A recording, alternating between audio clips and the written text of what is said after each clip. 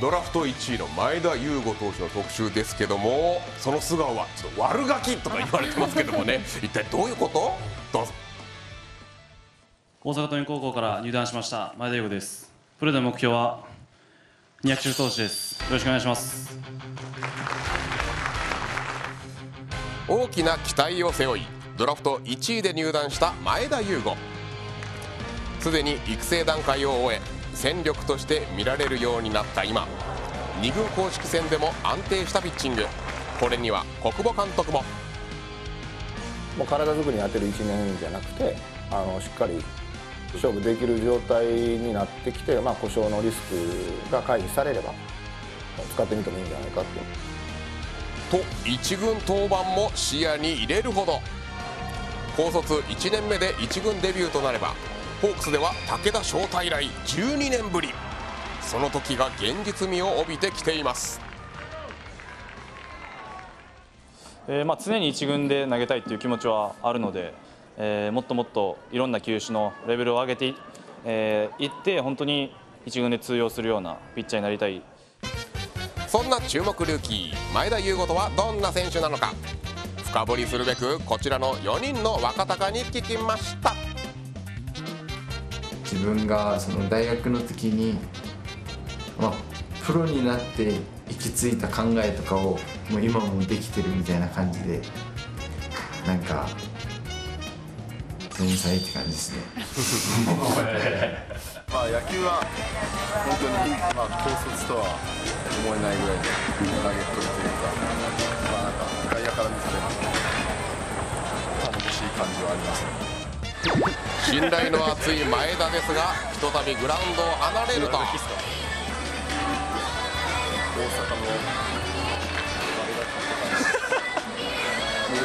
うーん？悪ガキってどういうこと？同期入団で年上の2人からは。いやもう夜とかもいきなり部屋入ってきたりもう寝ようと思ってるのに部屋入ってきたりめちゃめちゃ多分寂しがり屋。かまちですね僕の部屋トントンせずに入ってるんです普通びっくりするから鍵開いてるんですか関係ないよそれゆっくりせめてポンポンポンってびっくりするからいきなりいきなりうわ憎めない弟キャラ全開の前田悠吾一軍デビューに期待が高まりますさあ一軍デビューをね楽しみに待ちたいと思いますよ。モモスポではこれからもですねこの前田悠吾投手に密着していきますよ。応援しましょう。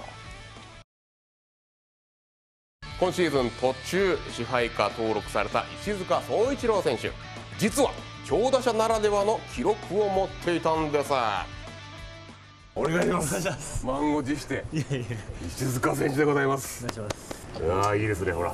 2桁55番ああよかったですね。さっき押しましあさっきあ新品。たこれ新品です。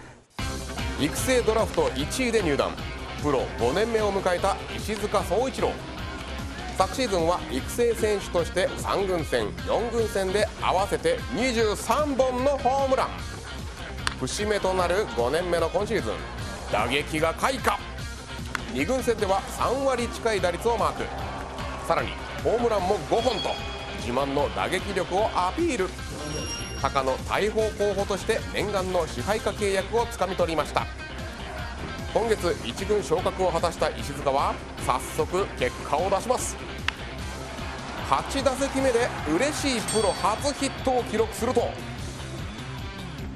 続く打席では待望のプロ初ホームランを放ちました。僕も打った瞬間高く上がったんでファウルだと思ってとりあえず全力で走ってたら入ったんで。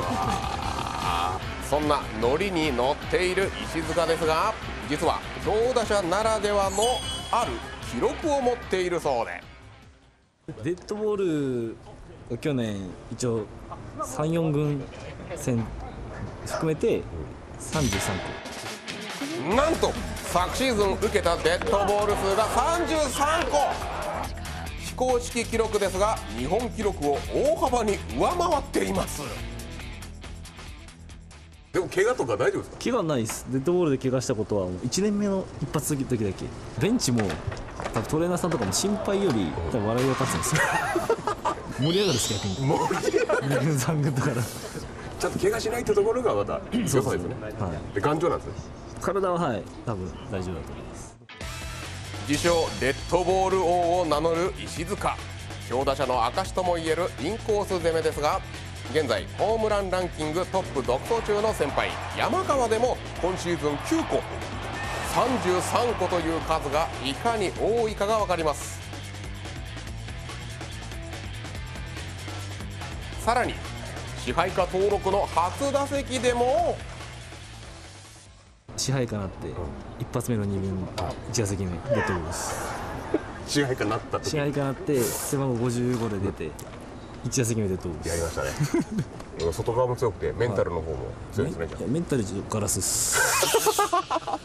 そこちょっと強化ガラスにしていかないと。そこが一番大事です。あいやいやそんなことありませんよ。新たな育成出身の星として活躍中の石塚総一郎さらなる飛躍に期待しましょう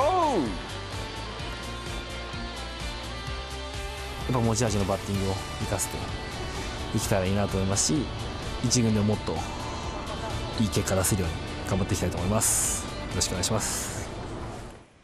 今シーズンあの2軍戦にも出場しましてすでにね9個のデッドボールを、ね、もらっております。